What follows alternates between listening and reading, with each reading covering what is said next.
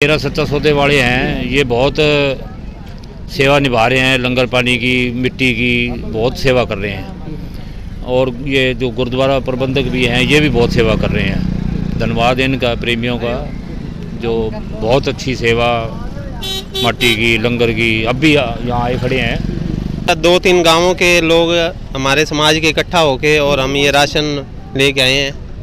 और इमाम हुसैन मुस्लिम भाईचारा कमेटी है हमारी। उनकी तरफ़ से हम आए हुए हैं यहाँ पे लंगर सेवा करने के लिए, जो गाँवों के बाढ़ पीड़ित लोग हैं। हम यहाँ लंगर की सेवा देंगे खाना बनाकर। गाँवों तक पहुँचाएँगे और यहाँ भी जो लोग खाना खाने आएँगे, उनकी भी सेवा करेंगे हमें। सोशल मीडिया से पता चला और टीवी के माध्यम से भी हरियाणा के फतेहाबाद में पानी काफ़ी आ चुका है और लोग, गाँवों के जो लोग हैं, गरीब जनता है, वो काफ़ी परेशान है, खाने की किल्लत है। तो उसको देखते हुए हमने इधर का रुख किया। जब हालात आपने आके देखे क्या कुछ अपने हिसाब से पाया कि भाई कितनी इनकी मदद की आवश्यकता है? हम दो तीन दिन पहले हमारी टीम यहाँ आई थी सर्वे करने के लिए।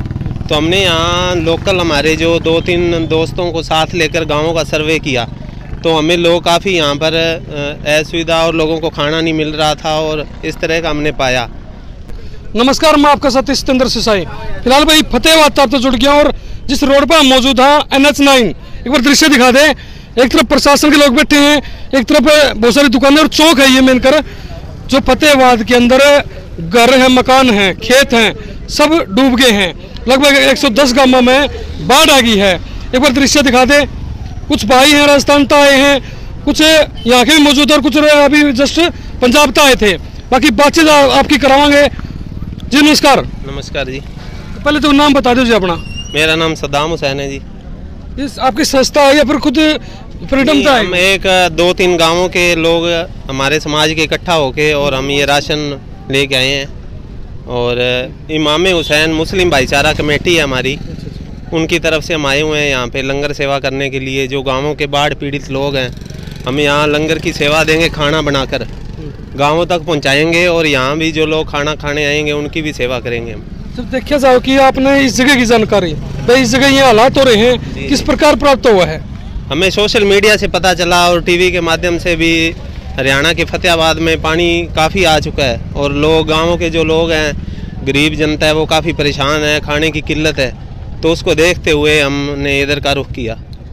जब हालात आपने आके देखे क्या कुछ अपने हिसाब से पाया कि भाई कितनी इनकी मदद की आवश्यकता है? हम दो तीन दिन पहले हमारी टीम यहाँ आई थी सर्वे करने के लिए। तो हमने यहाँ लोकल हमारे जो दो तीन दोस्तों को साथ लेकर गाँवों का सर्वे किया। तो हमें लोग काफ़ी यहाँ पर असुविधा और लोगों को खाना नहीं मिल रहा था और इस तरह का हमने पाया। तो आज हमने, आज भी हमने यहाँ जब आए, हम राशन लेके तो तीन चार गाँवों का निरीक्षण किया। तो हमें फिर ये चौंक है, जो ये यहाँ का एरिया ठीक लगा। और इससे यहाँ से हम जो आसपास के गाँव हैं, जहाँ पानी रुका हुआ है, वहाँ भी लंगर पहुँचा सकते हैं। तो हमने फिर इस जगह रुकने का, यहाँ लंगर लगाने का निर्णय लिया, हमारी टीम बात की जाए लगभग 110 गाँवों में बाढ़ आ रही है। फतेहबाद के अंदर। जो पुलिस प्रशासन की बात करें चलो वो तो अपनी अपनी जगह लगे हुए हैं लेकिन जो आर्थिक मदद सरकार ने करनी चाहिए थी वहाँ कहीं ना कहीं सरकार फैल होती नज़र आ रही है। हाँ, और आप जैसे भाई जो अलग अलग राज्य से आप आ रहे हो और फिर भी सेवा भावना सेवा की जो भावना है वो आप दिखा रहे हो। जी हाँ सर। जी हम हनुमानगढ़ के राजस्थान जिला हनुमानगढ़ के और तहसील संगरिया गाँव गुड़िया गुड़िया तंदूरवाड़ी और सूर्यवाड़ा गाँव के मुस्लिम समाज के लोग और अदर कास्ट के लोगों से हमें जो भी ये राशन वगैरह के लिए सहयोग हुआ है वो हम लेके यहाँ पहुँचे हैं जी। आप जैसे आप आपने देख पा रहे हैं दर्शक क्या कुछ आप अपील करना चाहोगे? क्योंकि हालात आपने महसूस कर लिए हैं चीज़ों की जानकारी आपने मिल चुकी है। देखो जी यहाँ पानी को देखते हुए हालात यहाँ काफ़ी ख़राब हैं। तो प्रशासन से भी हम यही उम्मीद करते हैं भी यहाँ के लोग जो गाँवों में हैं वहाँ गाँवों में कंडीशन ज़्यादा ख़राब है। तो उनकी ज़्यादा से ज़्यादा मदद हो सके यही अपील करते हैं प्रशासन से भी और जो जनता है जो संस्थाएँ हैं जो ट्रस्टी हैं यहाँ के लोगों की ज़्यादा से ज़्यादा मदद करें। फ़िलहाल बातचीत आपकी कराई राजस्थान हनुमानगढ़ से। कुछ मुस्लिम कम्युनिटी है या कुछ अन्य जो धर्म से हैं हुए पूछे हैं सेवा भाव से। फ़िलहाल बात की जाए चौक का आपने दिखा दे एक बार फिर दृश्य दिखा दे भाई घुमा के दिखा दे। फ़िलहाल चौक के ऊपर मौजूद है फतेहबाद के अंदर। आपने बातचीत करवाया अंकल जी थे लिया नमस्कार अंकल जी। नमस्कार जी। नाम क्या अंकल जी आपका? वज़ीर चंद रहने वाले कहाँ के हो? नूर केली के। नूर केली। ये कौन सा एरिया में पड़ा है? यही सामने सड़क जो जा रही है। अच्छा अच्छा। ये हालात लगभग कितने दिन से है? ये छः सात दिन हो गए। मैं तो पहले तो बाहर था कल आया हूँ भोपाल से। गुड़िया के पास गया तो छः सात दिन से हालात ऐसे हैं। हालात देखकर सरकार ने भी इसका पता है कि भाई ऐसे ऐसे हालात हो रहे हैं। लेकिन हमने जहाँ भी हमने स्टार्टिंग करी है कोई राहत सामग्री सरकार की तरफ़ आती दिखाई नहीं दी, लेकिन जो बाहर राज्य वाले लोग हैं, वो लंगर लगा रहे हैं, चीज़ें सेवा भावतान लग रहे हैं। ये जो डेरा सच्चा सौदे वाले हैं, ये बहुत सेवा निभा रहे हैं, लंगर पानी की, मिट्टी की, बहुत सेवा कर रहे हैं। और ये जो गुरुद्वारा प्रबंधक भी हैं, ये भी बहुत सेवा कर रहे हैं। धन्यवाद इनका, प्रेमियों का, जो बहुत अच्छी सेवा मट्टी की, लंगर की, अब भी यहाँ आए खड़े हैं। अब भी कर लंगर की तैयारी करने लग रहे हैं। हाँ। जब हम देखा हाँ तो लगभग हम लगे थे पीछे कई किलोमीटर से। लगातार ये चौक तक आए हाँ। बहुत सारे मकान हैं।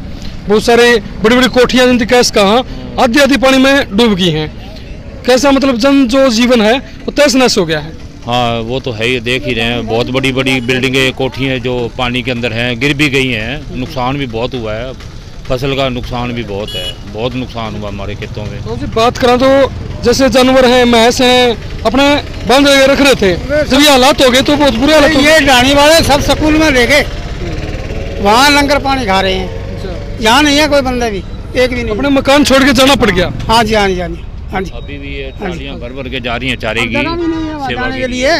अच्छा वो जो पहले जगह थी वो पानी आ गया। इतना इतना पानी है अब भी अभी भी खड़ा है पानी है जी इधर तो। पानी बहुत सरकार की जो लग रहे हैं हाँ हाँ। उनको देखते हुए क्या उम्मीद लग रही है? कितने दिन तक राहत कार्य शुरू करके खत्म कर दिया जाए? सरकार ने तो ये बाँध बूंद बाँध दे तो कुछ पता बात बचा है नहीं तो कहाँ से बचता? वही तो कहना अपना। कहीं ना कहीं योगदान रहा है सरकार का भी। सरकार का खूब रहा है। कहाँ से लगे हैं बनाने? ये देखो बहुत सरकार प्रशासन का भी ठीक रहा है, ये आते रहे हैं, सारे एमएलए वगैरह भी संभालते रहे हैं, प्रशासन भी, पुलिस वाले भी बहुत खड़े हैं, जिम्मेवारी है इनकी, कर रहे हैं, ये भी रन मिल के सारे ही कर रहे हैं। फ़िलहाल भाई चौक का अंदर फतेहबाद के अंदर मौजूद थे और बातचीत करा सर भी मौजूद हैं, बातचीत कराओगे? हाँ सर, आपने कौन से अच्छा चलो, कोई बात नहीं। फ़िलहाल चौक तो आपसे जुड़ गया और लगातार कवरेज हम फतेहबाद की आपने दिखाते रहेंगे, ज़्यादा वीडियो शेयर करें ताकि जो यहाँ की समस्याएँ हैं प्रॉपर जो मंत्री, विधायक एमएलए जो जनता के वोट से बने हुए हैं, उन तक जानकारी इन चीज़ें पहुँचाए और जल्द से जल्द कार्रवाई करके लोगों ने जो परेशानी है, उस पर मुक्ति दिलाई जावा। है इसे अगर अपनी वीडियो में विराम दी हूँ जय हिंद, जय भारत।